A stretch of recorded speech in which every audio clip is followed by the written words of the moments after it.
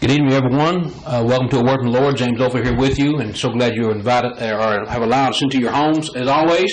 Now we have a special program. I'm Mr. Marty Roberts from the uh, Calvary Apostolic Church in Mayodan is going to be with me, with me tonight, and we're going to be discussing uh, a Bible subject of baptismal formula, and uh, we're going to let him uh, have his uh, uh, speech in just a moment. We always want to give you our contact information so that you can reach us and, and with your questions, comments via email, regular mail, or phone. We want to be accessible to you, and so we allow that to uh, to happen. We hope that you will take advantage of that. I want to remind you quickly of our uh, uh, sister congregations that have other Bible programs like this with a live call-in format where you can call in and ask Bible questions. What does the Bible say? Sunday night at 9 p.m. on this station. For those of you in Martinsville, Henry County, up in Virginia, you can uh, watch cable channel 18 on Wednesday nights at 9 p.m. You'll notice there is no longer a Sunday night program, but uh, that is soon to change. You're going to be able to watch uh, uh, the, the the program from airing out of Martinsville on, uh, uh, I believe, uh, what Thursday nights or, another night uh, here on this station. So be looking for be looking for that. So uh, we are excited about that because we're ever increasing. We're doing we're doing bigger and better things, and so we we hope that you uh, appreciate our efforts in that regard. Tonight, just by way of format, before we get started, I want to let you know this is what we'll be doing. Our our format, so to speak. Will Marty and I will split time for the first hour, and we'll have three 10 minute speeches each. And that will take up the first hour. We'll just take turns. And then after that, we're going to have 20 minutes. The next 20 minutes is going to be question and answers, where we'll take turns uh, asking each other questions back and forth in order to uh, uh, reason together, you know, meeting of the mind, so to speak, so that you can uh, better understand, maybe clarify some, uh, uh, some of our points that we're trying to make. The next 25 minutes will be your phone calls. We'll, we'll open the phone lines and you can call in and ask your questions. And we want to uh, again say, with your questions, please uh, get right to the point, uh, and just ask your question. Let's be courteous and kind, and uh, uh, with a with a desire to know the truth. Let's ask those questions, and then uh, we'll try to move on so we get as many people as possible to call to ask their questions. And then, as time permits, we have about six minutes left. It may be more or less, but we'll say six minutes each closing. Marty can state his have six more minutes to maybe recap or, or reiterate anything he wants to say about his position that he's been talking about tonight. And then I will follow suit and, and close out the program. So uh, we're going to begin uh, our first of, of 10 minute speeches. And so, uh, uh Marty, uh, thanks for being here and have glad, at it. Glad to be here. Step over this way a little bit. Okay. Can everybody see me now? Yeah. There you go. Okay, this is Pastor Marty Roberts from Truth Calvary Apostolic Church in Mayodan, North Carolina. My appeal tonight is not new evidence or thought or theory, but rather back to the Bible uh, as the only source that we can rely on. I'm fully aware that this is not a subject to discuss lightly or irreverently because baptism was inaugurated by our Lord Jesus Christ. Uh, I therefore give these scriptures in the fear of God, knowing that I must give account to God not only for myself but to those that hear me today. 2 Timothy chapter 3 and verse 16 says, All scripture is given by inspiration of God and is profitable for doctrine, for reproof, for correction, instruction in righteousness. And uh, it means that we all the scripture in the Bible is given by inspiration. St. John chapter 12, verse 48, Jesus said, He that rejecteth me and receiveth not my words, hath one that judges him the word that I have spoken in the last day. First Peter chapter two, uh, Second Peter chapter one and verse twenty says, knowing this first that no prophecy is of the scriptures of any private interpretation, for the prophecy came not in old time by the will of man, but holy men of God spake as they were moved by the Holy Ghost. The Word of God, some people say, well, that's your interpretation, and that's my opinion or my interpretation. You got your interpretation, I've got mine. But Second Peter chapter 1 in verse 20 tells us that there's no prophecy of the Scripture of any private interpretation. The prophecy came not in old time by the will of man, but holy men of God spake as they were moved by the Holy Ghost. The same Spirit that moved them to write uh, the Scriptures is the same Spirit it takes to understand the Scriptures. It was given by inspiration of God. The Word of God is not a man's private interpretation or opinion. Men wrote as they were moved upon by the Holy Ghost. It takes the same Holy Ghost to interpret what has been written. The reason why there's so many different denominations today is because the will of man has got involved in the flesh and carnality. And today, to make it socially acceptable, that we see that the will of the flesh has got in there. Revelation chapter 22, verse 18 says, For I testify to everyone that heareth the words of the prophecy of this book. If any man shall add unto these things, God shall add unto him the plagues that are written into this book. And if any man shall take away from the words of the book of this prophecy, God shall take away his part out of the book of life. If we should take away any of the words, uh, take away from the words of the book of this prophecy. Some people say, well, that's just talking about Revelation. But you go back in the book of Deuteronomy, we find 4 verse 30, they speak, it speaks about you shall not add to or diminish aught from the very beginning. So we're getting down to the scripture here in Galatians chapter 1 and 6. We're going to find that Paul wrote to Galatians in chapter 1 verse 6. He said, I marvel that you're so soon removed from him that called you into the grace of Christ into another gospel, which is not another. But there be some that trouble you and would pervert the gospel of Christ. In other words, they would change it to some degree.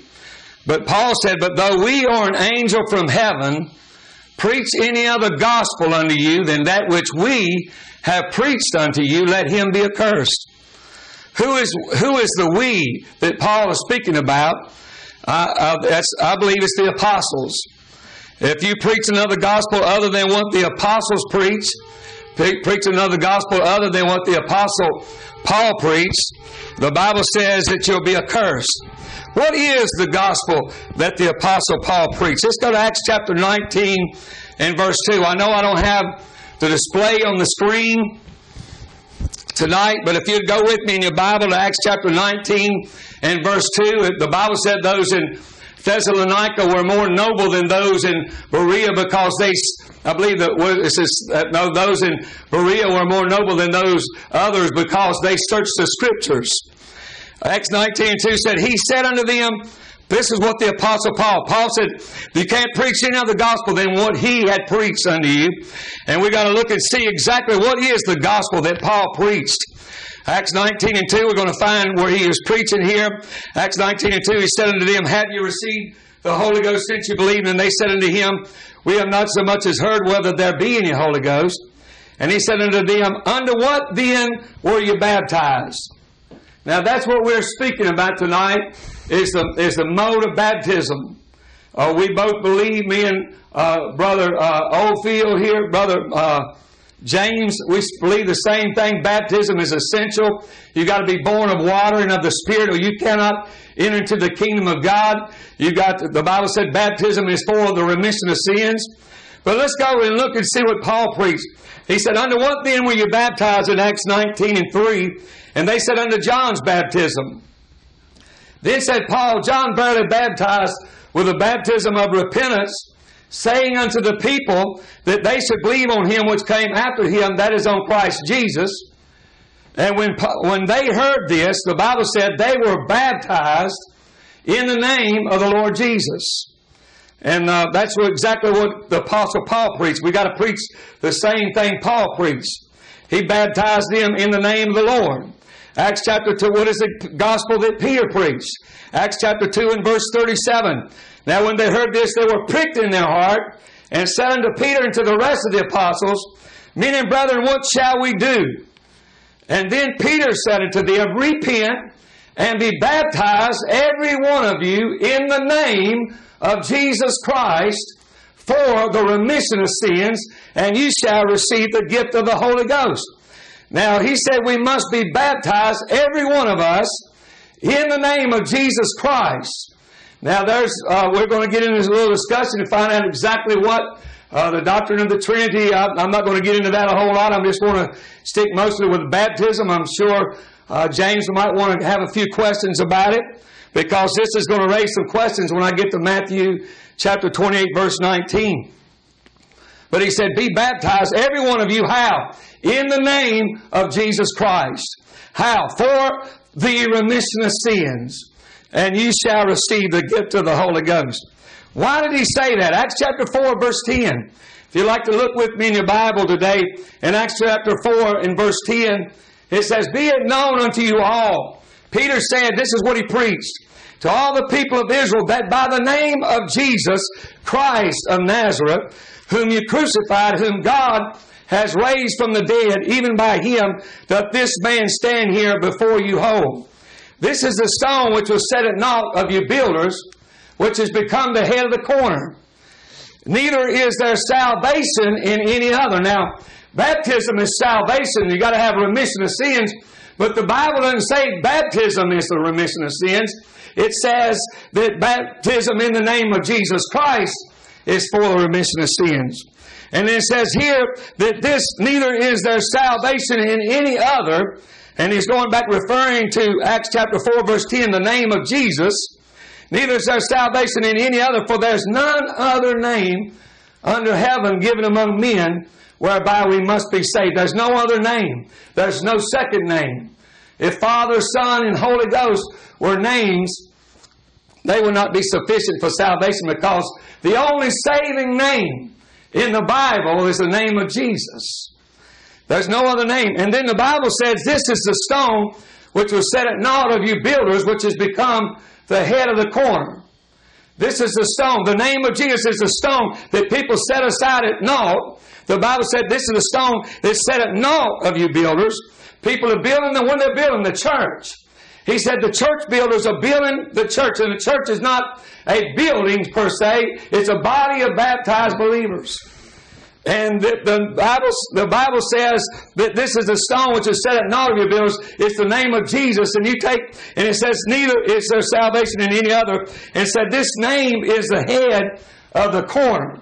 In other words, if you take that name of Jesus out, then your whole building collapses upon you. If it's a headstone, you pull it out, it's one of the most important parts of the building. And we know that the name of Jesus, we're talking about a spiritual body of baptized believers that must be baptized according to the scriptures in the name of Jesus for the remission of sins. Okay. All right, Marty. Go ahead. Uh, I'm going to ask you to, if you would, step over just a little bit so I can get mine going. All right. Well, I, uh, folks, this is what we're talking about. This is what we're all about, trying to get information out so that we can examine together and reason together. And uh, before I begin, I want to just remind you of what we're discussing so that we can be looking for what we agreed upon. And this is what, folks, I want you to, to notice. This is what Marty must prove. In the name of Jesus, he needs to prove that it means to say the name, that is to call over or to say the phrase in the name of Jesus, to call over that name. Because we're, and I'm going to get this money, we're, we're not denying that in the name of Jesus is what baptism must be, is how must be done. It must be done in the name of Jesus. But when someone was baptized in the New Testament, you need to find, and Marty needs to prove or show, that in the name of Jesus was actually spoken or called out or over the person being baptized. That's what you need to look for, listen for. It. Now, this is what I'm saying. Scriptural baptism is in the name of Jesus. Certainly it's in the name of Jesus. I'm not denying that. No way, shape, or form. I'll never deny it, never have denied it. Scriptural baptism is in the name of Jesus.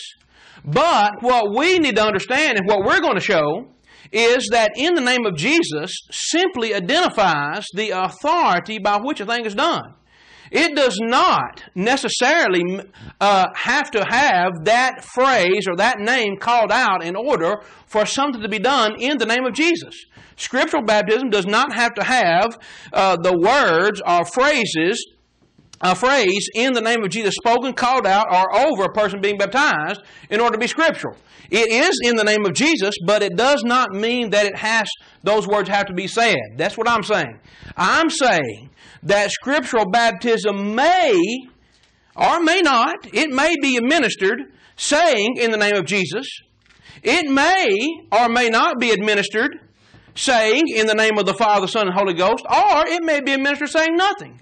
It doesn't matter what uh, is, is stated or not stated. If it is done by the authority of Christ, it's done by, it's done in the name of Jesus. Now, this is what I want to notice. I want to uh, uh, briefly just talk about some things that, that Marty said before I uh, move on. Uh, uh, Deuteronomy 4 and verse 2, he said, don't add anything to the word. That's, that's true. But friends, I want you to notice that if he doesn't prove that, that in the name of Jesus means saying that name, he's actually done what the Bible says don't do. He's added something to it. And then in Galatians 1, 6 through 9, he said, he quoted right, he read correctly. Paul said, if, it, if though we are an angel from heaven bring another gospel to you, let him be accursed. Now, friends, if he doesn't prove that in the name of Jesus is stating that name, verbally, orally speaking that name of Jesus in baptism, or when someone is doing something in the name of Jesus, then what he's done is he's brought another gospel. And so he's condemning himself. I just want you to notice this. Now, I don't, I'm not mad at Marty. I'm, I haven't met him except for two times, second time I met him. But I notice this, friends. I, I disagree with this doctrine. And I'm going to press it. I'm going to press it uh, uh, very uh, adamantly. Now, notice this. In, in, Acts 19 and verse 2, he goes to the account of the Ephesians being converted, and he says, Paul preached the gospel. Uh, Paul preached to them, and this was the gospel that he preached. In the name of Jesus is how they were baptized. Now, he said this word, how. He said, how were they baptized? In the name of Jesus, indicating according to his, his uh, definition, that that name was spoken or that phrase was spoken. Now, friends, he can't prove that. He can't prove it. Uh, Acts 2, verse 37 and 38, Peter did say, Repent and be baptized in the name of Jesus. But he has to prove that those words were spoken. So, uh, that, that's what we want to notice. Now, uh, let's, let's first start off with the definition here. I want you to notice, friends, that name has a definition. When he says in the name of Jesus, we need to notice some ways that name is, is used. Name, this comes from the Thayer's Lexicon, is a word by which a person or thing is called and distinguished from others. It can be in reference to a proper name or a title, something that distinguishes uh, a, a, person from another. It may be, if I said the name uh, Jason or Steve or Marty or James, those are titles, those are names that distinguishes uh, individual uh, people. It could be used for any for everything that the name covers, such as one's rank, one's authority, one's interests, pleasures, commands, or deeds. That is what it, it, could, it could be used for that. Or it could be to do a thing by one's command and authority, acting on his behalf or, prompt, or promoting his cause. So if something is done in the name of someone, it can be done by one's commands or because they've told them to do something. Now let's notice something. In Acts 2.38, which Marty cited just a moment ago, Peter said unto them, Repent and be baptized, every one of you, in the name of Jesus Christ for the remission of sins, and ye shall receive the gift of the Holy Ghost. Now that's, that's right. That's what the Bible says. But notice this. Is that what they said? Or is it what they did? Were those people on the day of Pentecost, were they baptized in the name of Jesus? Yes, they were. But was it what was said? Or was it something they did? They said, What must we do? And Peter said, Be baptized in the name of Jesus Christ. He didn't say you had to say it. He didn't call it over them when they were baptized. He said you had to be baptized in the name of Jesus. And the Bible goes on to say, friends, if you, if you continue reading in Acts chapter 2, you'll notice that the Bible says, and with many other words, uh, did he testify and exhort them, saying, Save yourselves from this untoward generation. I mean, he said, Be baptized in the name of Jesus uh, uh, uh, a long time before they were ever baptized, according to the scripture. And so, verse 41 is where they were gladly baptized. He spoke many other words before they were baptized. So he's going to have to prove that they actually called the name of Jesus over them when they were baptized. Yeah, Acts 8 and verse 16. I don't know that Marty brought this up. I, I, was out of the room for just a moment, but I'm sure he'll get to it. Another conversion account. Notice what the Bible says. For uh, as yet, he, the Holy Spirit, was fallen upon none of them, only they were baptized in the name of Jesus, uh, the name of the Lord Jesus. Now, friends, notice this. Was it something that was said, or was it something they did, or something that was done? Being baptized in the name of the Lord Jesus is not something that's said, it's something that's done. That is what's commanded. That's what's commanded in Acts 10, verse 48. Another verse that I'm sure Marty's going to get to is the, the, um, the conversion of Cornelius. And he commanded them to be baptized in the name of the Lord Then prayed they him to tarry certain days. Now, Peter commanded Cornelius to be baptized in the name of the Lord Jesus. Marty has to prove that that was what was said. That was what was said. And he's going to have to prove that if you are baptized without saying uh, Jesus when the baptism is administered, that, that it's invalid. That's what we want to know. Would it be invalid? Maybe he'll want to answer that. Would it be invalid if, it, if it's not spoken? Because the Bible clearly says that this is what they did, not necessarily what they said. Uh, in Acts 19 verse 5, this is the, the, uh, uh, uh, the reference he used just moments ago in reference to the folks at Ephesus. When they heard this, that is, when they heard that the baptism of John was no longer valid, that John's baptism was a, a baptism pointing to Christ, then the Bible says they were baptized in the name of Jesus. Now, again, was it what was said or was it what they did? See, that's what we're pointing out, friends. This is not something that was said in order to validate baptism. Baptism is validated if it's done in the name of Jesus. That is, it's done by His command. Now, Jesus commanded baptism. Mark 16, 16, He that believeth and is baptized shall be saved.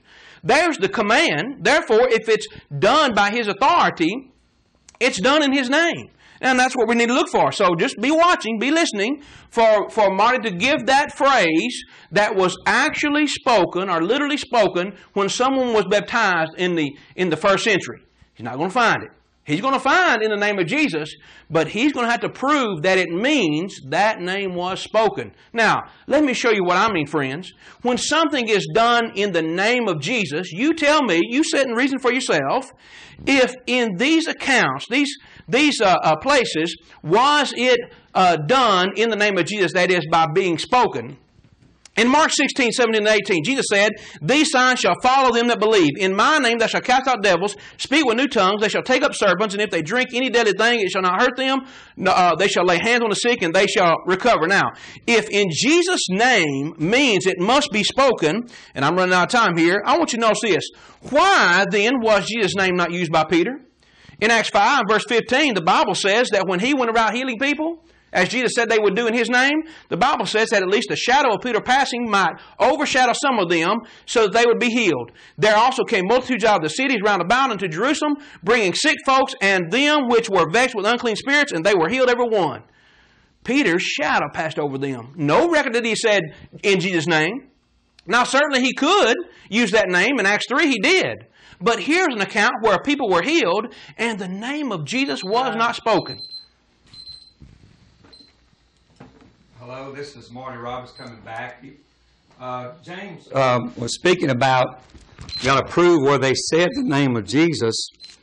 And then we go to Acts chapter 3 in verse 6. It says, Then Peter said, This is what he said Silver and gold have I none, but such as I have give I thee. In the name of Jesus Christ of Nazareth, rise up and walk.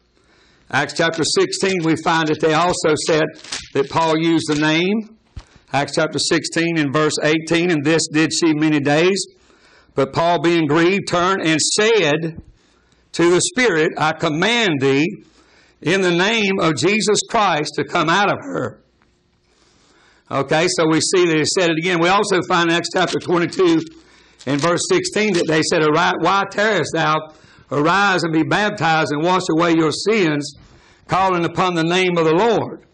And we find it that calling on the name of the Lord is Jesus. So if they call on the name of the Lord, Acts chapter 9, verse 5, when uh, Paul said, Who art thou, Lord? The Lord said, I am Jesus. So we know the name of the Lord is Jesus. So the Bible says, Arise and be baptized, calling on the name of the Lord. Uh, he also gave us uh, a definition of what name is.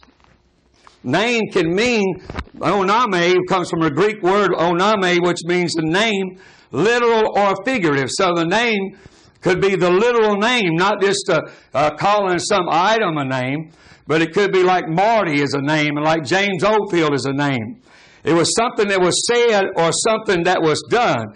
He said it wasn't something that was said or something that was done. Now, uh, James said he just believed it was just something that was done. He didn't believe it was nothing that was said. Well, I just read to you the scriptures where they said in the name of Jesus Christ, and uh, when we, they were doing some of the deeds. But Colossians chapter 3 and verse 17 says, Whatsoever you do in word or deed, whatever you say or do, do all in the name of the Lord Jesus. Now that is a commandment in the Scriptures. So we can't go past by the Scriptures and say, well, I'm not going to go. And yes, you can show me the little place in there where they say something, then I'm not going to believe it. it but the Bible says to do it in the name of Jesus. So if I'm, it's from the fear of God in my life, I would be afraid not to do what the Bible says. The Bible says to baptize them in the name of Jesus, then I'm going to do what the Bible says. And that's the reason why, because I want to make sure souls are going to make it to heaven. And that's the most important thing. James even admitted that that was correct for me to say in the name of Jesus Christ because he cannot deny it because it's in the scriptures. And anybody could see that's plain as day that baptism in the name of Jesus Christ is in the Bible. So that's the reason why. But, you know, it does say Acts 8 and 12, they believe Philip preaching the things concerning the name of Jesus Christ. They were baptized, both men and women. We find that they continue with Philip and uh, the apostles which were at Jerusalem in Acts 8.14. When the apostles were at Jerusalem heard that Samaria had received the word of God, they sent on them uh, Peter and John who came down and prayed for them that they might receive the Holy Ghost. Acts 8.16.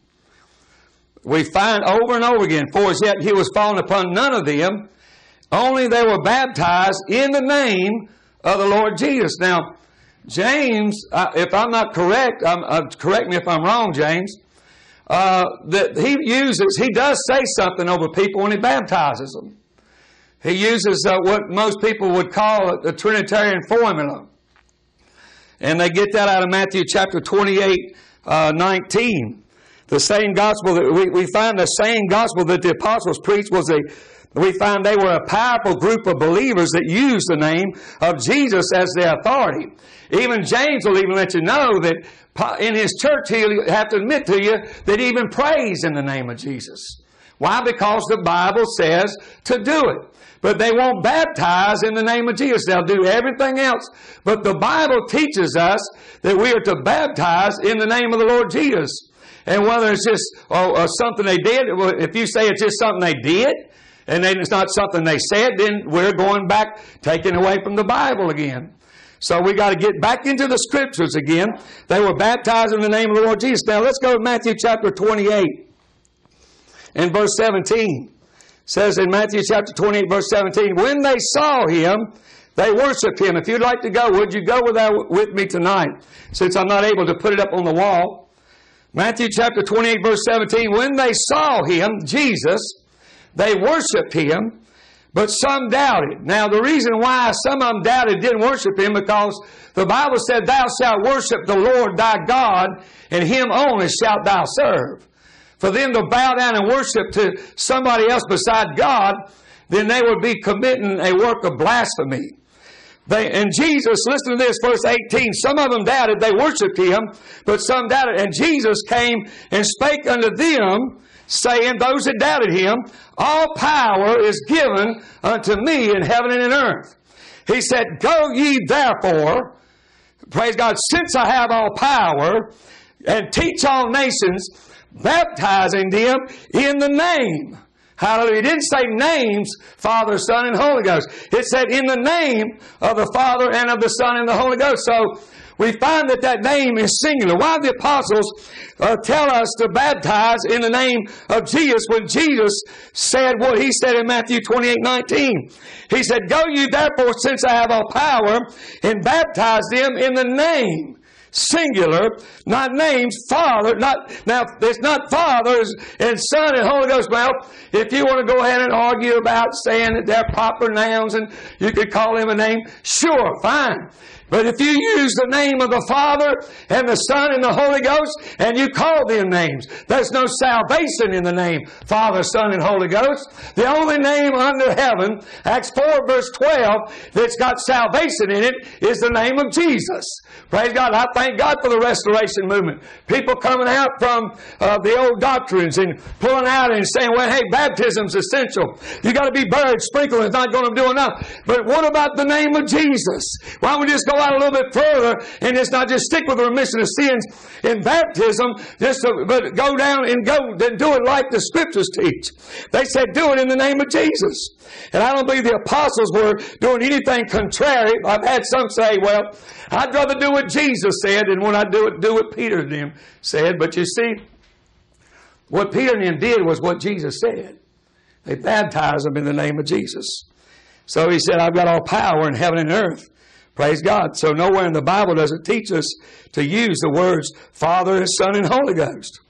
So if we use the words Father, Son, and Holy Ghost, you know, we go in there and we say, well, it says to use the name of the Father and the Son and the Holy Ghost. We've got to find out what that singular name. Now let me tell you, my name is Marty, but I'm also I'm a father and I'm a son. I can be an uncle. And I, you know, I might, and I, I might be a, a nephew or a niece, but my name is not uncle. My name is not a father. My name is not son. My name is Marty.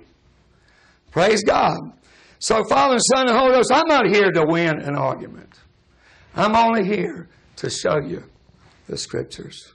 And if I could just show somebody the light of revelation, I'd love to see James receive this. There's people, Church of Christ preachers, that's been baptized in the name of Jesus and preached it to the day of their death because they've seen the revelation. But you see, nowhere in the Bible does it teach us to use the words Father, Son, and Holy Ghost. It tells us that we're commanded to baptize in the name. And even Paul said in Colossians 3.17, whatsoever you do in word, whatever you say, whatever you do, do it all in the name of Jesus. And the reason why, if we go to revise in Acts chapter 10, verse 48, another instance, he commanded them, Peter commanded them to be baptized in the name of the Lord. Now, if this is just a quibble on words and it's just, well, you know, you know, you can't prove anything, well, then you could go ahead and say, well, you know, James, you can't prove anything, or uh, Marty, he can't prove anything. But let me tell you something, the scriptures teach us that we have to be baptized in the name of Jesus and I'd be afraid to do it any other way. Go ahead.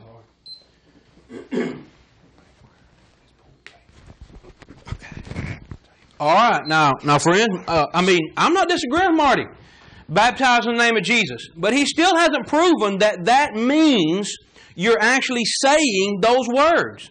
Now, my contention is this: you can say those words. Or you cannot say those words. If you're doing it by the authority of Christ, you're doing it by the authority of Christ. If it's done in, in compliance with the Lord's commands, you're doing it in the name of Jesus, whether you say, whether you say anything or not. And I'm going to show you this. Now, I want, to, I want you to, to, uh, to notice this. I want to keep on with this, with this point. Marty keeps saying that I don't, that I don't uh, uh, baptize in the name of Jesus. Well, I'll say this, friends. There are times when I baptize people and I'll say, in the name of Jesus. Or I'll tell them, I'm baptizing you by the authority of Christ. Christ has given me authority to baptize you. I'll baptize in the name of Jesus. I have said the words, or that I'm baptizing you in the name of the Father, Son, and the Holy Spirit. Or I have baptized people and not said anything, Marty, because I don't have to say anything. You know why? Because someone's salvation doesn't depend on what I say. Marty's, Marty's doctrine actually has, has your salvation depending on what he says. I don't know about you, friends, but I don't want my salvation depending on what someone says or doesn't say it. I want to depend upon if I have obeyed Jesus or not. Now, let's look back at Mark 16, 17, and 18. I want to continue this thought. Jesus said, These signs shall follow them that believe. In my name they shall cast out devils, speak with new tongues, take up uh, take up serpents, and if they drink any deadly uh, thing, it shall not hurt them.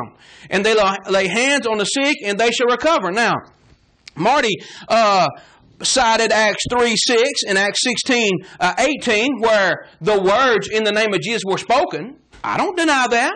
I don't have a problem with, with them being spoken. But here's the thing, friends. It doesn't prove that they must be spoken. You see that? See, he wants to say that just because I say they don't have to be, that means uh, that, that, that they always uh, are. Just because he can find a place where they are doesn't mean they always have to be. And that's my, that's my point. That's my point. He's binding upon you something Jesus wouldn't bind. Now, here we had uh, Peter healing people without saying the name of Jesus. Jesus said it would be done in his name. Peter didn't say a thing about Jesus. In Acts 19, verses 11 and 12, God wrought special miracles by the hands of Paul so that from his body were brought unto the sick handkerchiefs or aprons, and the diseases departed from them, and the evil spirits went out of them. Now Jesus said that devils will be cast out in his name, and the diseases will be healed in his name. But here we have uh, people bringing handkerchiefs or aprons from Paul, and we don't have any record that Paul said anything. As a matter of fact, we don't have any record that Paul was even there when it was done. But yet, Jesus said it would be done in his name. Now, friends, my point is this. Can something be done in the name of Jesus without, in Jesus' name, that phrase being spoken, uh, called over when the act is performed? I say yes, it can. You can do something in the name of Jesus without without uh, saying the words in the name of Jesus. In uh, Acts 13, verse 9, Saul, who was also called Paul, filled with the Holy Ghost, set his eyes up, up on him and said, O full, o full of all subtlety and all mischief, thou child of the devil, thou enemy of all righteousness, thou wilt not cease to perverse the right ways of the Lord. Now behold, the hand of the Lord is upon thee, and thou shalt be blind and not seeing the sun for a season. And immediately there fell on him a mist and a darkness, and he went about seeking some to lead him by the hand. Now, this was what Paul said to Elymas who was trying to keep the deputy from obeying the gospel. And he put a uh, uh, he, he put blindness or cast blindness upon this man because he was trying to pervert the ways of the Lord. And he was blinded, could not see. Now, I want you to notice something. These are Paul's exact words, and, and Jesus' name was not even mentioned. Now, my question is, did Paul do this in the name of Jesus, or did he not do it in the name of Jesus? If he didn't do it in the name of Jesus, Marty needs to tell us how he did it. And if he did do it in the name of Jesus, Marty needs to tell us why didn't he say it in Jesus' name? Why didn't he say in Jesus' name? See? Because it doesn't depend upon what you say. It depends on do you have the authority to do it. That's what we're talking about. Now look at this. In Acts 28, verses 2 through 6. Here's uh, uh, the account where Saul, Paul, has been shipwrecked. They come upon an island, they're cast upon an island, and they're gathering firewood. And notice, and the barbarous people showed us no little kindness, for they kindled a fire, and received us every one, because of the present rain and because of the cold. And when Paul had gathered a bundle of sticks and laid them on the fire, there came a viper out of the heat, and fastened on his hand. And when the barbarians saw the venomous beast hang on his hand, they said among themselves, No doubt this man is a murderer, whom though he hath escaped the sea, yet vengeance suffereth not to live. And he shook off the beast into the fire and felt no harm. Now watch this. Howbeit they looked when he should have been swollen or fallen down dead suddenly, but after uh, after uh, they had looked a great while, and saw no harm come to him, they changed their minds and said he was a god. Now, friends, Jesus said they can take up serpents and they won't be hurt. This, the very thing Jesus said would be done in His name, happened to Paul, and Paul shook that beast, that viper, off into the fire without so much as an ouch in Jesus' name. He didn't say Jesus' name one bit. He shook the, the viper off in the fire and didn't say a thing. I don't know about you, but if I'd been bit by a viper, I'd have said ouch or something. But Paul didn't. Why?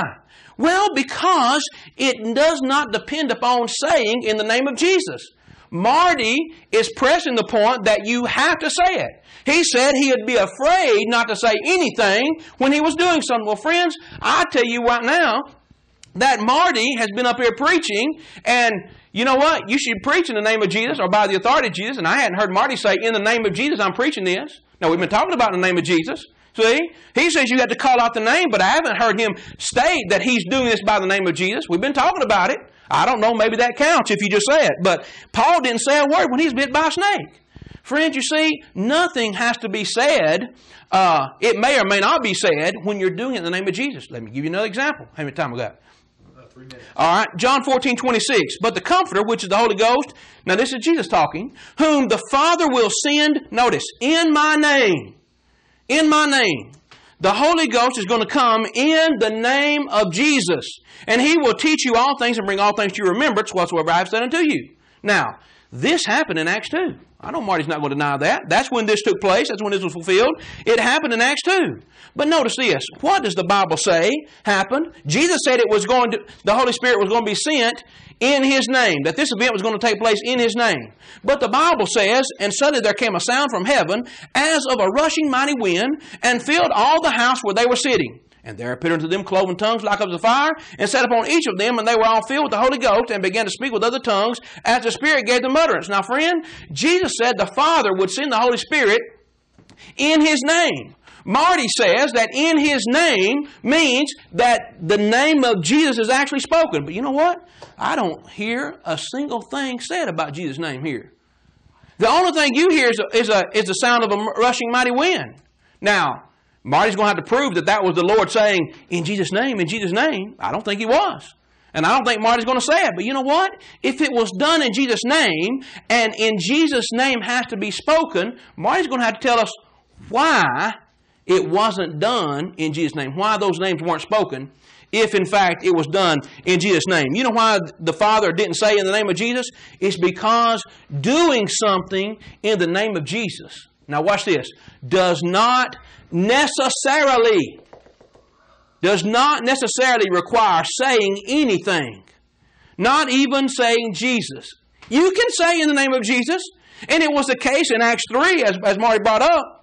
When Peter healed that man, he was simply telling him by whose authority he was going to be healed. If you read in Acts 4, which we'll get into a, a, little bit later, but in Acts 4, that's exactly what Peter was defending. He said, if you think we've done this by our power, then you're wrong. We've done this by the power or the authority of Jesus.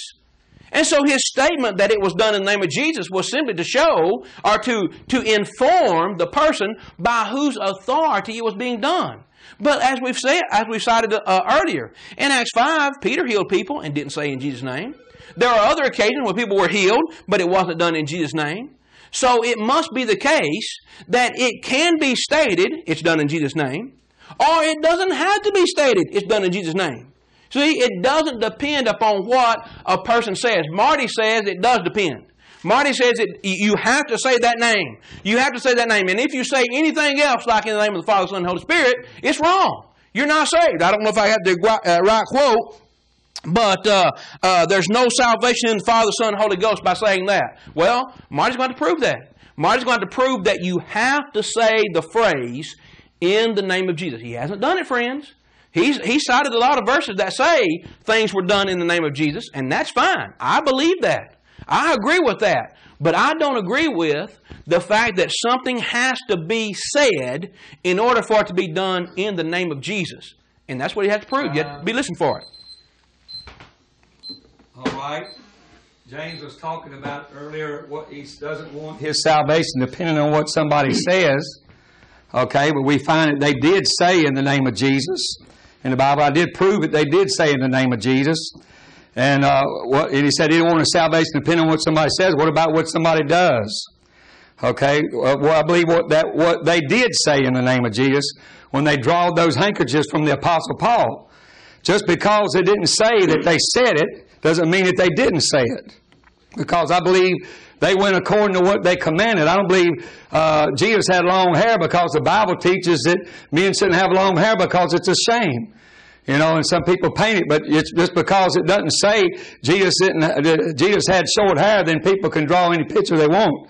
But listen to this. It didn't say that they said in the name of Jesus, uh, but it doesn't mean they didn't say it. It didn't matter when Paul shook the snake off in the fire. Doesn't the Bible doesn't go and require everything over and over again.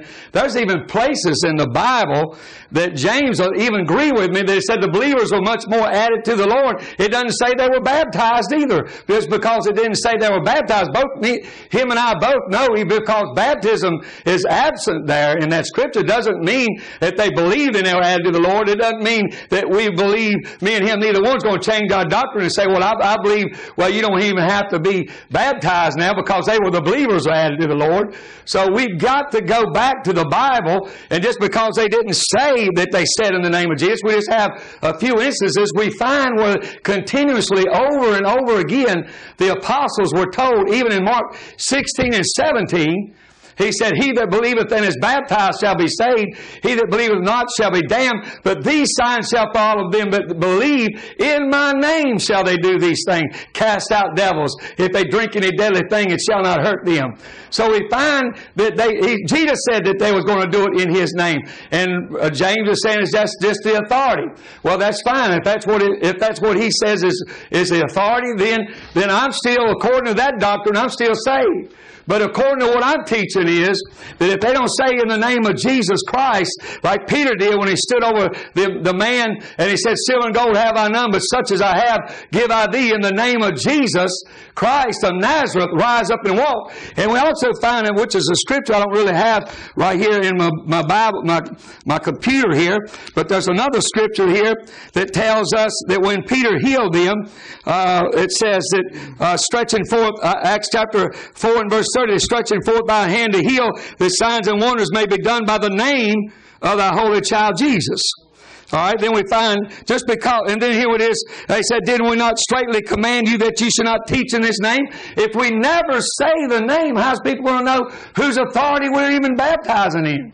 Or whose authority we're praying in? We could be ba- praying and, and baptizing people and, and believing people to be healed in the, the name of Buddha, as far as that goes, because, or whatever other religion believes in healing and salvation. Uh, without saying the name of Jesus, then we're not really operating in the name of Jesus. So just because they didn't say that they said doesn't mean they didn't say it. Just like when believers added to the Lord, and different scriptures out throughout the uh, te- uh, New Testament here in the book of Acts, just because it's omitted and not shown there doesn't mean that they didn't do it. Just because Paul shook the snake off the fire. Now, James said he didn't Paul shook the viper off in the fire and didn't say anything. Well, you and I know better than that. That he said something when he shook that snake off in the fire, and he would be foolish, Apostle Paul, if he didn't say in the name of Jesus. Just because they didn't show or write it down. You know, the Bible doesn't just continually go over and over again saying the same thing over again. But Luke, let's get back here just a little while longer. I'm, I'm rebutting. I'm supposed to be an affirmative tonight, but I'm answering some of the questions here just because I want to go ahead and get a hold of them. But Peter in Acts chapter 10 and verse 48 commanded them to be baptized in the name of the Lord. Revised Standard Version says in the name of Jesus. Luke chapter 24 verse 46, Jesus said unto them, Thus it is written, and thus it behooved Christ to suffer and to rise from the dead the third day, and that repentance and remission of sins should be preached in His name among all nations. What's Christ's name? Beginning at Jerusalem. We find that the apostles baptized in Jerusalem. James said he baptized in the name of Jesus. I can always, but he's got to believe that that's for the remission of sins. Acts chapter 2 verse 38 says that you got to be baptized in the name of Jesus Christ for the remission of sins. Now, he says you don't have to say it. Well, why did they put it in there? Why didn't you say be baptized for the remission of sins? But they put in the name of Jesus. So what we're doing here when we do that is we're omitting or taking away from the word of the Lord. Now, the Apostle Paul, to prove something here, let's go to Acts chapter 19.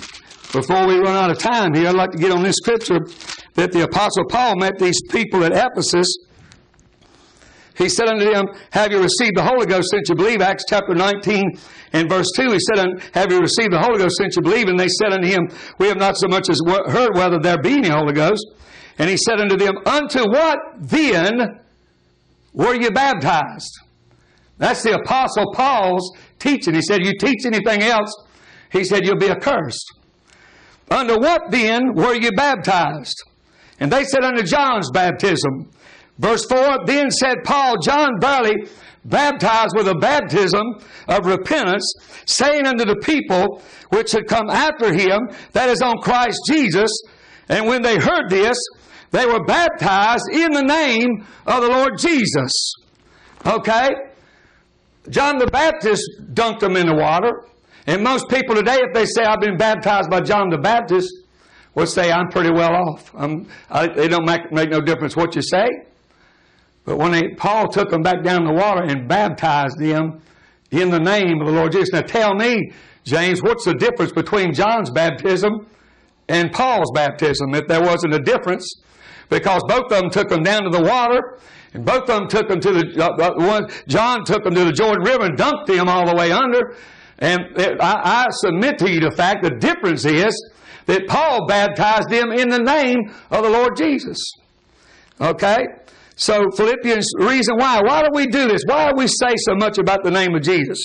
Because Jesus said repentance and remission of sins should be preached in His name among all nations.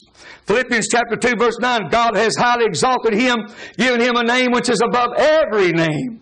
that the name of Jesus, every knee should bow things in heaven, uh, things in earth, and things in the earth. So we find it's a name above every name. A name, Ephesians chapter 1 verse 20 and 21, that's above every name is named, not only in this world, but in the world which is to come. Because if it's a highest exalted name, I've had people come to me and say, Jehovah, Jehovah, Jehovah. I say, well, what's the greatest name?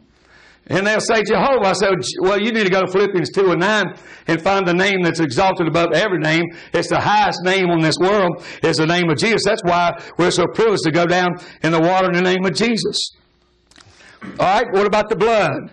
Let's get the blood issue in this thing. Hebrews chapter 9 verse 22 says almost all things are by the blood, uh, by the law purged with blood. Hebrews 9 22 if you'd like to look. And without shedding of blood there is no remission. Okay?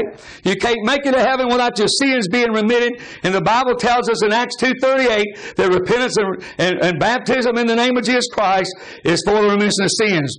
Because Peter said be baptized. We spoke about that. But let's look at Acts chapter 10 and verse 43 and find out where the remission is.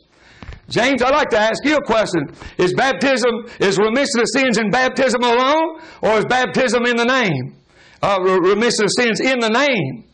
Okay, of Jesus.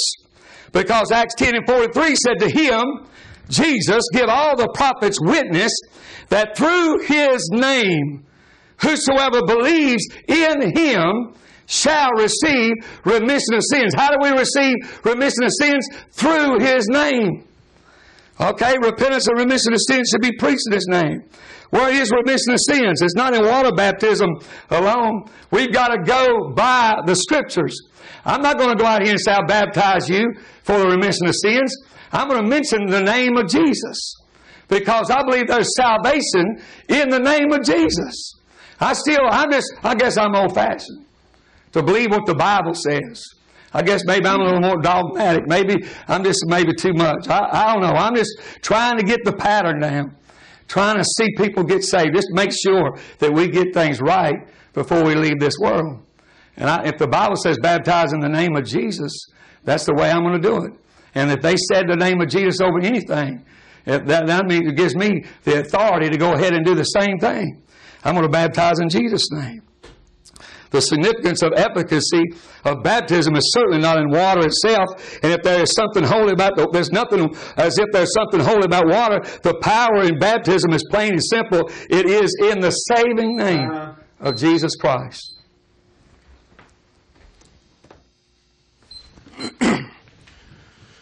All right. Well, uh, come back to my screen, please. Uh, all right. I want to uh, answer some of these things that Marty's been saying while we while I go through this last. This is our last, our last speech, it? All right. Well, let's let's talk a little bit about in the name, and I want to answer some of Marty's questions as we go along. But um, uh, notice something. Let's let the Bible tell us what in the name means. Marty still insists that it means you have to say it. But friends, that's just not in the Bible. It's not in the Bible that says you must say it.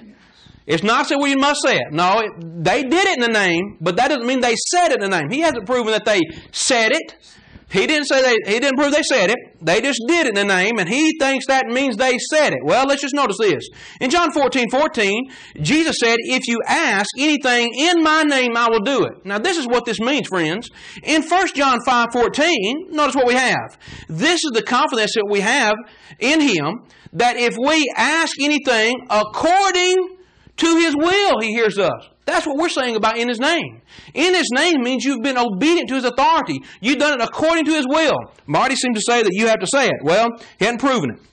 Now he mentioned uh, preaching repentance in the in the uh, uh, name of Jesus. Uh, Luke 24, 47, 48. Notice this: that repentance and remission of sins should be preached in His name among all nations. Well, you know what, friends? The easiest thing to do to find out if that means you have to say in the name of Jesus is just go through and see if they said it. Now, he wants to believe that they said it uh, when they baptized someone because it says that it was done in the name of Jesus. Well, let's just look about preaching repentance then. When, repent- when repentance was preached, did the apostles say in the name of Jesus, like Marty says they called out at baptism? Let's just look at this. In Acts 3 and verse 19, Actually, verse 19, the Bible says, here's Peter, he says, Repent ye therefore and be converted, that your sins may be blotted out, when the time of refreshing shall come from the presence of the Lord. Now, did he say repent in the name of the Lord? No, he didn't. He didn't say repent in the name of the Lord. Repentance was preached because that's what Jesus gave the authority or gave the command to preach. Well, no repentance there. Acts 20, verse 21. Testifying both to the Jews and also to the Greeks, repentance toward God and faith toward Lord Jesus. Now, here they were testifying about repentance. Now, I don't see in the name of Jesus in that verse. I don't see the name of Jesus in that. Acts 26 and verse 20, uh, Paul says, But he showed first unto them of Damascus at Jerusalem and throughout all the coast of Judea, and then to the Gentiles, that they should repent and turn to God and do works meet for repentance. You know what, friends? Here's what you find. Did anyone in these accounts, when they're preaching repentance, did they say in Jesus' name in connection with any of those sermons on repentance? Not a single time. As a matter of fact, notice this, friends. Notice this. In Paul's sermon on Mars Hill, we know repentance was preached in the name of Jesus. That doesn't mean in Jesus' name was specifically stated. It doesn't have to be in order to be preached in the name of Jesus. Look at this. In Acts 17, verse 30. In the times of this ignorance, uh, God winked at, but now commandeth all men everywhere to repent because he hath appointed a day in which he will judge the world in righteousness by that man whom he hath ordained, whereof he hath given assurance to all men, the end that he raised him from the dead. Now, friends, this is Paul's sermon on Mars Hill. Starts in Acts 17, verse 22, goes all the way through the rest of the chapter, almost to the rest of the chapter. And notice this. In this sermon, Paul specifically says God commands uh, uh, all men everywhere to repent. But I want you to notice this. In this sermon, Paul did not even say Jesus' name. He didn't even say the name of Jesus. He says, that man. And Marty wants to say, well, preaching is in the name of Jesus. You know what? Preaching repentance is in the name of Jesus. But did Paul say, did Paul do something wrong? Did Paul not preach repentance in the name of Jesus when he didn't even say his name? He didn't even call out his name. He just said that man. See? He just said that man. Marty must, must think that Paul missed it right here. Paul, you didn't preach repentance in the name of Jesus because you didn't say in Jesus' name. Friends, it doesn't mean you have to say in Jesus' name because you can say in Jesus' name and not be doing something by the authority of Jesus. In Acts 19 and verse 13, the sons of Sceva tried to cast out demons by calling uh, over a man possessed the name of Jesus, and it didn't work. So it's not saying the name, friends, it's doing what the Lord has said. That's what we're talking about. Now, he talked a little bit about the names of Jesus, and I want to point this out. If baptism requires saying the name of Jesus, then I want you to notice we need to find out if Jesus is the only name he has. Marty says the name above all names. We're going to see if that's true or not. In Matthew 1 21, Bible says, She shall bring forth a son, and thou shalt call his name Jesus. He'll save his people from their sins. Well, that's true. That is his name. But notice this. In verse 23, two verses later, the Bible says, Behold, a virgin shall be with child and shall bring forth a son, and they shall call his name Emmanuel. His name is Emmanuel. Here his name's Jesus. Here his name's Emmanuel. Well, he's got two names so far. Notice this. In Mark 13, 6, Mark 13, 6, uh, For many shall call him my name, saying, I am Christ, and shall deceive many. Can somebody please answer that phone? Uh, for uh, shall uh, uh, his name is Christ. Now we've already seen the name of Jesus. His name is Christ, and his name is Emmanuel. But notice this in Revelation 19:12, his his eyes were as fly, uh, flame of fire, and his head was many crowns, and he had a name. What's his name? He had a name that written that no man knew but he himself. He was clothed in a vesture dipped in blood, and his name is called the Word of God. Now, friends, we've got the Word of God, we've got Emmanuel, we've got Christ, we've got Jesus, and here we've got a name, King of Kings and Lord of Lords. In Isaiah 9 6, Wonderful counselor, of the mighty God, the everlasting Father, Prince of Peace. And I know we're going to get into that later if, if Marty wants to come back and, and uh, uh, discuss another topic. But notice this, friends, these are all his names. Now, Marty's going to say, well, all those are titles. All those are titles. Friends, notice this. Marty says that Father, Son, and Holy Spirit are titles. But look at this. In Hebrews 1 verse 4, Hebrews 1 verse 4, the Bible says that, speaking of Jesus, being made so much better than angels, he hath by inheritance obtained a more excellent title. Is that what it says, Marty? No, it says name. They have a more excellent name. He has a more excellent name for uh, unto which of the angels said he at any time. Now watch it. We're going to find out what that name is. What is that more excellent name? For unto which of the angels said he at any time, Thou art my son. Thou art my son. This day I have begotten thee, and again I will be to him a father, and he shall be to me a son. His name is a son. Now, Marty wants son to be a title, but the Bible says it is a name. Friends, I'm going to take the Bible. Marty said he wants to know, he wants to take what the Bible says. Well, let's see if he'll take son as a name instead of just a little title.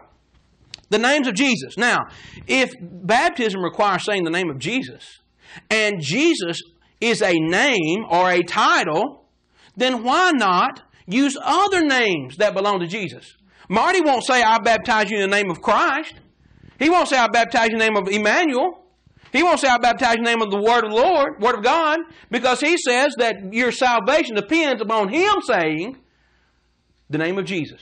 Friends, again, your salvation depends on if Marty utters it right. See, if you come to Marty, it's going to it's going to depend that he makes sure that says the right things, and I don't think uh, I don't think you want want that. Now, in Acts four and verse twelve, he brought this up. There is salvation in none other, for there is none other name give under heaven given among men where we must be saved. Now, friends, notice this: none other name. Let's notice what this means. Is that referring to another word or another person? When, when Peter says this, he's not talking about the, uh, stating a name. In other words, you, he's not saying, Peter's not saying, you cannot call out another word and have salvation. Marty seems to think that salvation is obtained the minute you say the name of Jesus. Now, a while ago he said, uh, uh, let's see, uh, that, that you have to uh, say uh, Jesus in baptism. And I have down here, you know what I want to say is, Marty might as well preach uh, in the baptistry because he seemed to think that salvation or the name of Jesus has to be called out right when you get in the water. Well, Marty, when I preach uh, uh, the gospel, I'm telling people about being saved and being baptized in the name of Jesus a long time before they get to the baptistry. Marty must, must stand the baptistry when he preaches because he thinks that must be the only place where you can say the name of Jesus. Friends, I have told people uh, about, about whose authority they should be baptized a long time before they get there. Peter is talking about a person, not a word. Now, I want to say this. Look at this. By the name of Jesus, even by Him. Peter's not saying by another word. He's saying by the person. Now, uh, Philippians 2.10, at the name of Jesus, every knee should bow. You know what, friends? Every time, Marty would say, every time a person hears Jesus or sees the word Jesus, do they bow down? No. I have been saying Jesus, I believe, about 45 times tonight, and I haven't seen Marty bow down once. You know why? Because it's not talking about the name of Jesus. It's talking about His authority. Every knee shall bow and render obedience to Christ. They should submit to His will because He is King of Kings and He's Lord of Lords. And if it means that you should bow down every time you hear the name Jesus, I don't know why Marty hadn't been bowing. Okay. Uh, uh, question and answers. Marty, I, uh, uh, I don't know if you want to go first or, or not. Doesn't matter to me. What What do you uh, What do you prefer? Any difference? What I wait All right. Well, just you want to ask your first question? That'll be fine. Okay. Well, the question I'd like to ask you is, what is the difference between John's baptism and Paul's baptism? All right. Difference between John's baptism and Paul's baptism. Well, that's that's pretty simple. It's right here in the Bible in Acts 19. Let's all go to Acts chapter 19, and uh, we'll just pick up in verse one. Now, Marty wants to wants to think that uh, the difference is what was said. But you know, I don't I don't know that John said, "I baptize you in the name of me." I think he said baptism was a baptism of repentance for the remission of sins. He said, "Repent and bring forth fruit meet for repentance. That's what he was saying. It was a baptism of repentance. The difference is in Acts 19 and verse 4. Here's the difference. Paul said, John verily baptized with the baptism of repentance, saying unto the people, that they should believe on him which should come after him, that is, on Christ Jesus. Now there's the difference. The difference is John's baptism was a preparatory baptism. It was to uh, make a, make the way for the Lord. It was to prepare a people for the for the Lord. Luke chapter one, and uh, I'm just going to say verse 17, I believe. John's baptism was a preparatory baptism, getting people ready for the Lord. The uh, uh the difference isn't what was stated; it was the reason why it was done. Uh, Luke one uh, 17, and he shall go before him in the spirit and power of Elias, and turn the hearts of the fathers to the children, and the disobedient to the uh, wisdom of the just, to make ready a people prepared for the Lord. There's the difference. John was a preparatory baptism, and once Christ died, baptism was for the remission of sins, and thus it was by his authority. Until that time, it was it was a uh, uh, a baptism that was preached by John, who was sent by God. Now you have Christ, a, the Savior has come, and now you must render obedience to Him. So it's not what was said; it was the, the purpose of the baptism. One was for the remission of sins because Christ came, and John's was because Christ hadn't come yet. You need to get ready for him. Well, John baptized, he believed that he that cometh, he said, I indeed baptize you with water unto repentance, but he that cometh after me is mightier than I, whose shoes I'm not worthy to bear. He shall baptize you with the Holy Ghost. And he's talking about Jesus. He, and he took them down in the water and buried them.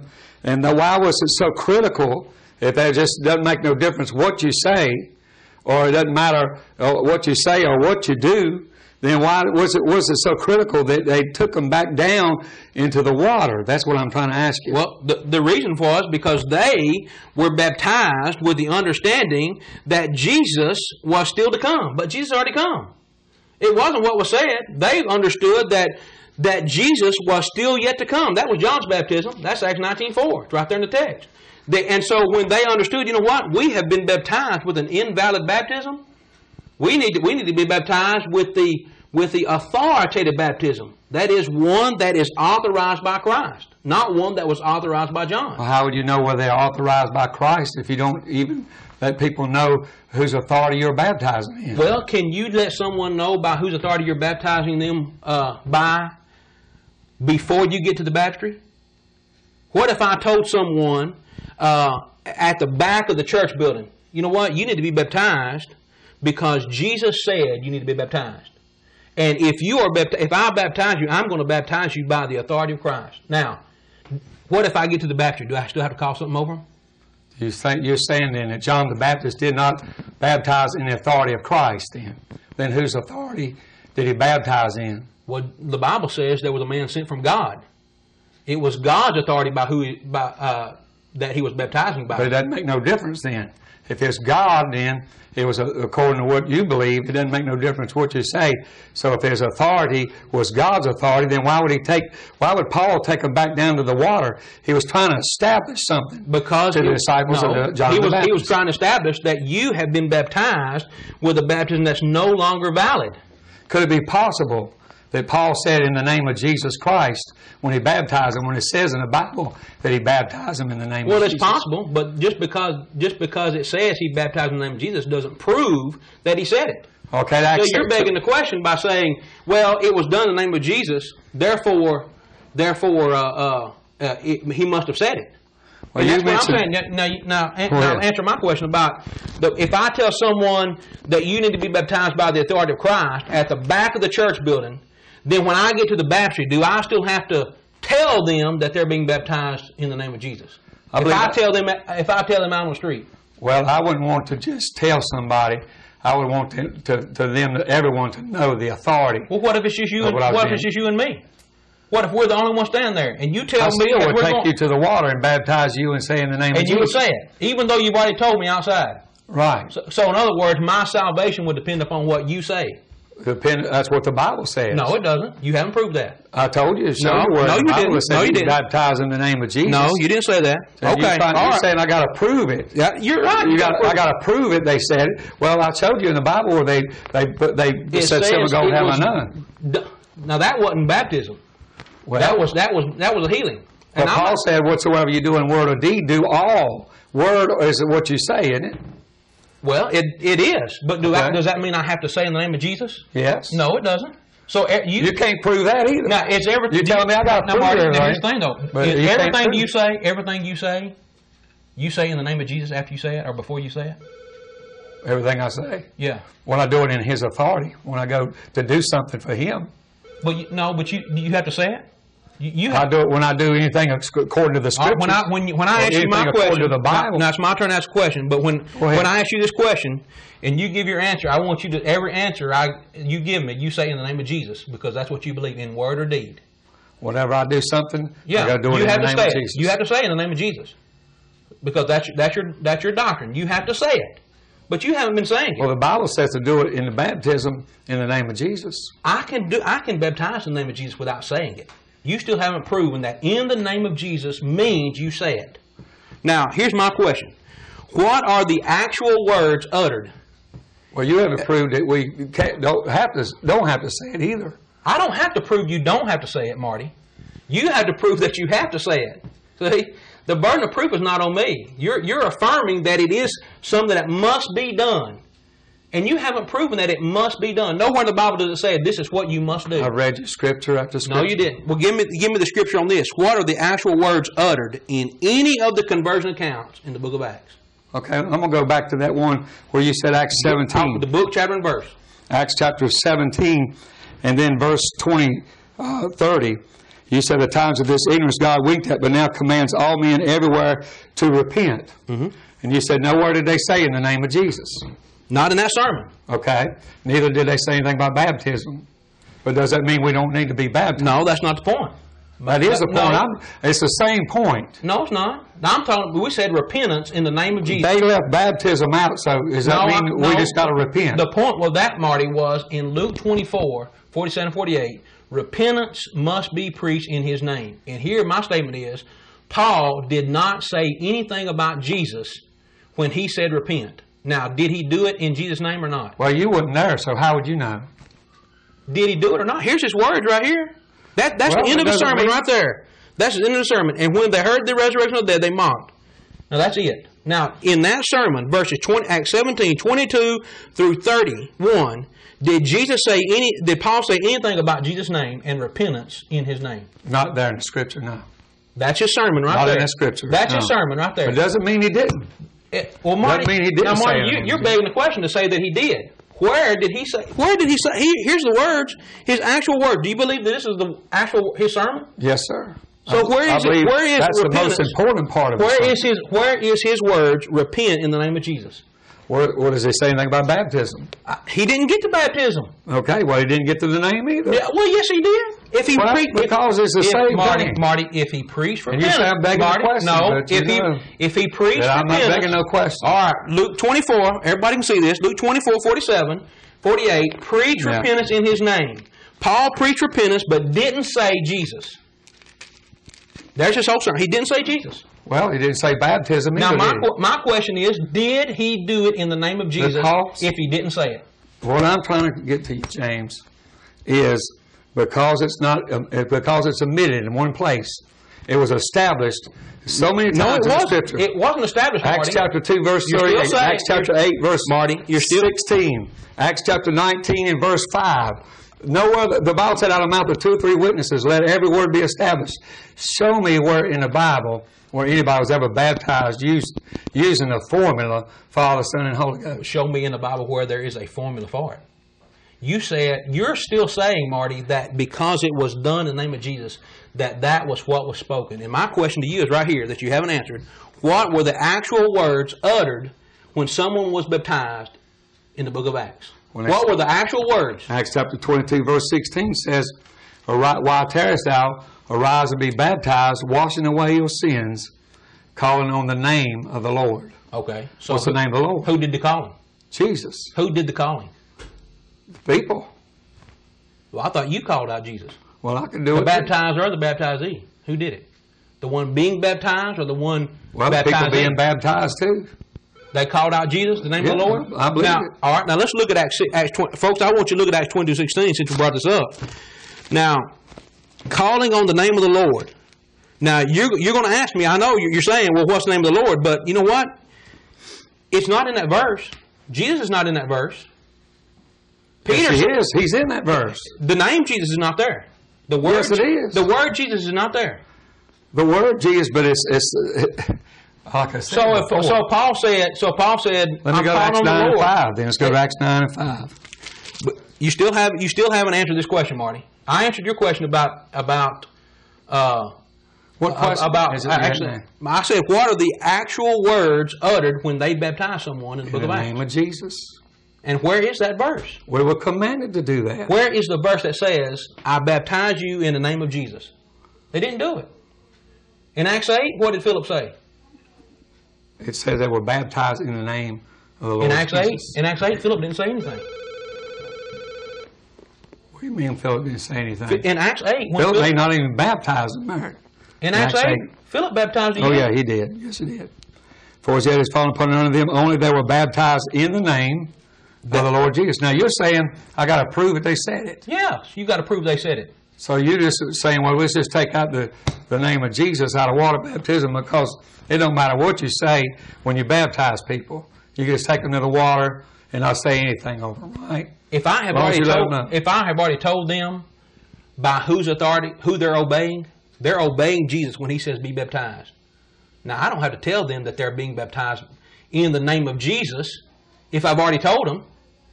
So you're putting their salvation depending upon what you say over them, Well, and that's I not guess- the Bible. I guess I'm gullible You enough to believe are. the Bible.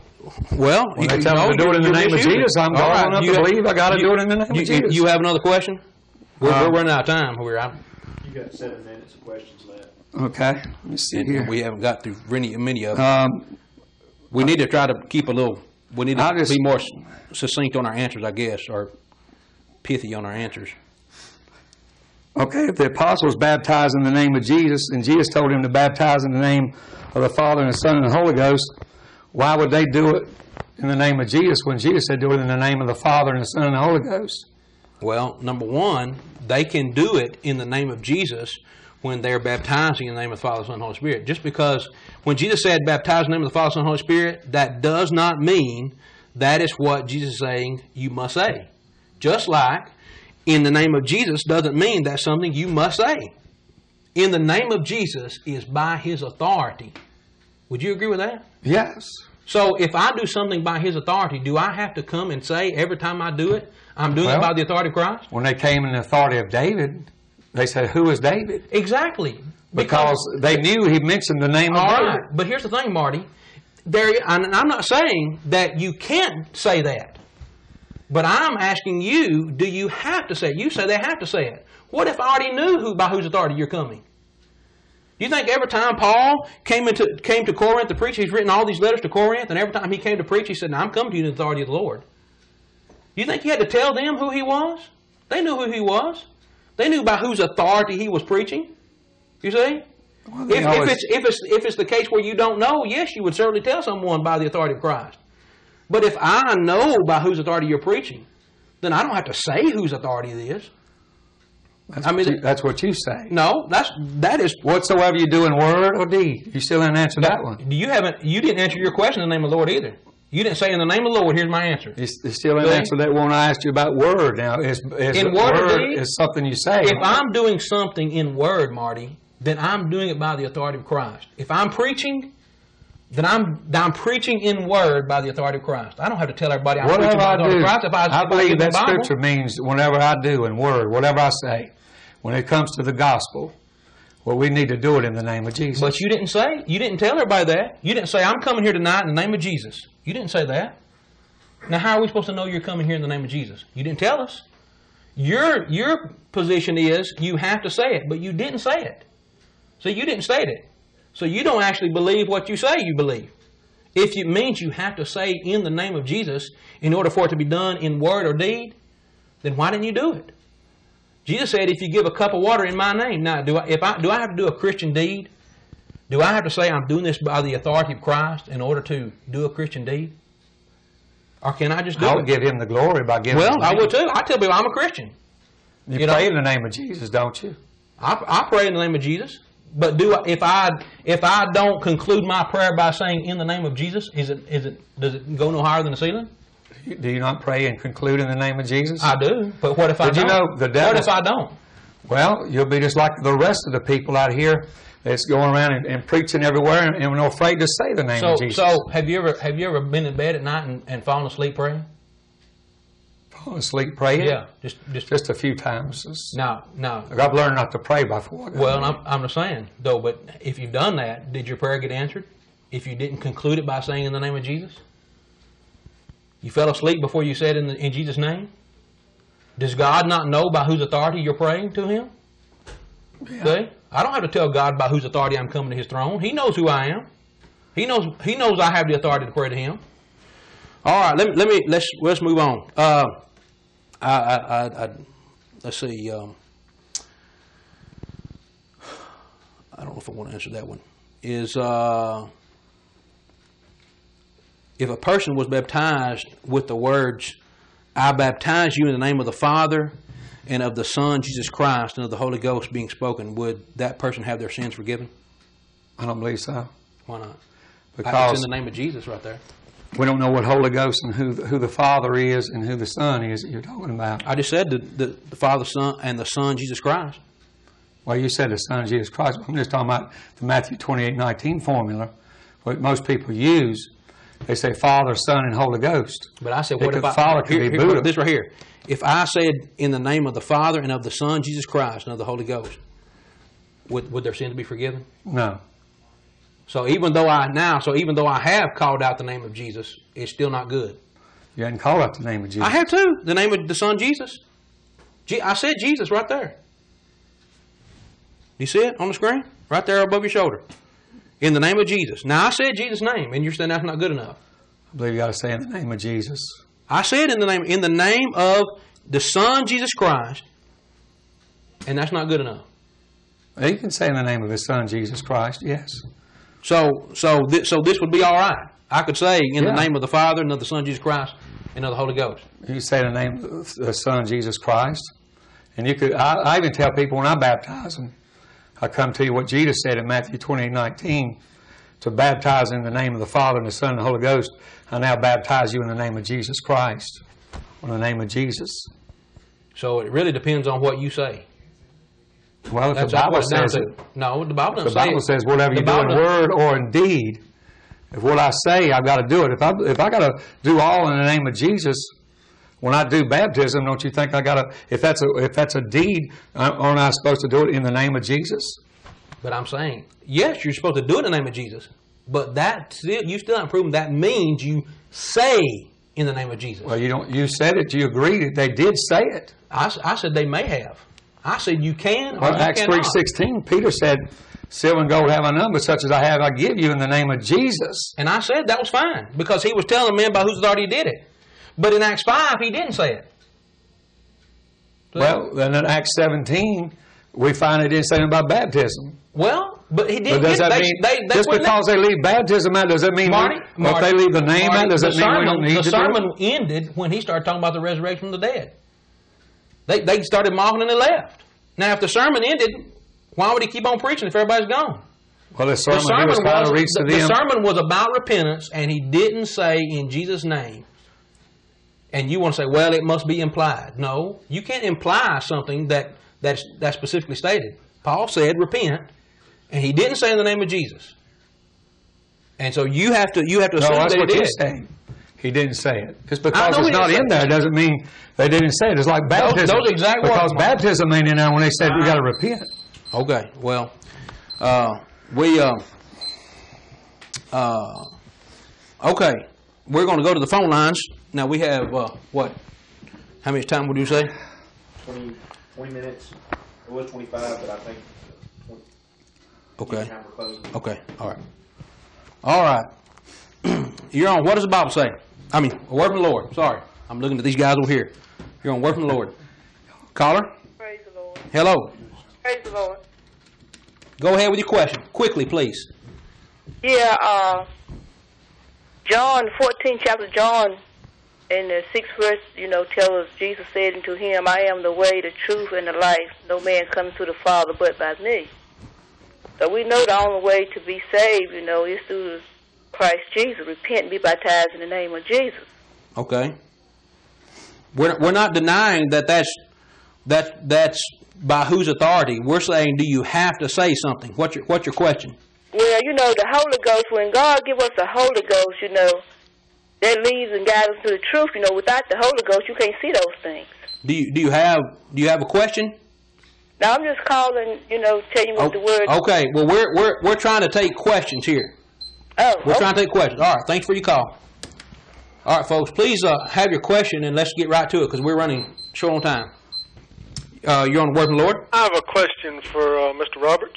Okay, go ahead. Um, Mr. Roberts, uh, Colossians 3.17, I know you quoted, um, and whatsoever you do in word or deed, go in the name of Christ, giving thanks to God and Father by Him. Do you believe that? Yes, sir. And, and what's the name of your church? Calvary Apostolic Church. Calvary Apostolic Church. sir. is, is that the name Jesus? Calvary Apostolic Church. No, it doesn't say nothing about the name of Jesus. No. So you're, you're in a church that is not done in the name of Jesus. Well, that's, that's just a building. Well, you, you said it's a church. We're not talking about the building. We're talking about the church you're in. Yeah. Well, You said the the church body, the people? The body is a this church is a body of baptized believers. You can hang any sign you want over the door. It doesn't make it. You could go into a, a recreation center and it'd be the church When when, you you, said- go into the body When you said baptized believers. when you said the church,